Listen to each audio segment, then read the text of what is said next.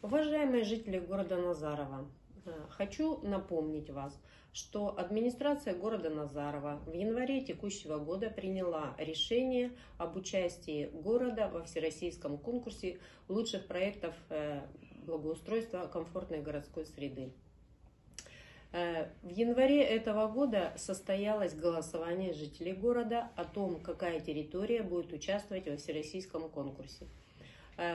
По голосованию жителей была определена территория парк Березовая роща.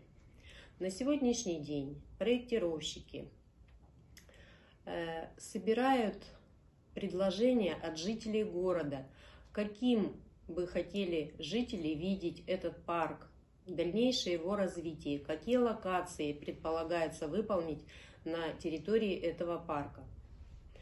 Для этого с 22 числа по 7 марта на шести точках нашего города стоят коробки с логотипом «Комфортная городская среда», куда, где рядом лежат анкеты в бумажном носителе, где можно, заполнив анкету, положить э, анкету в коробку, и она будет учтена, то есть предложения будут учтены проектировщиками. Кроме этого, во всех социальных сетях размещены ссылки для участия в данном анкетировании.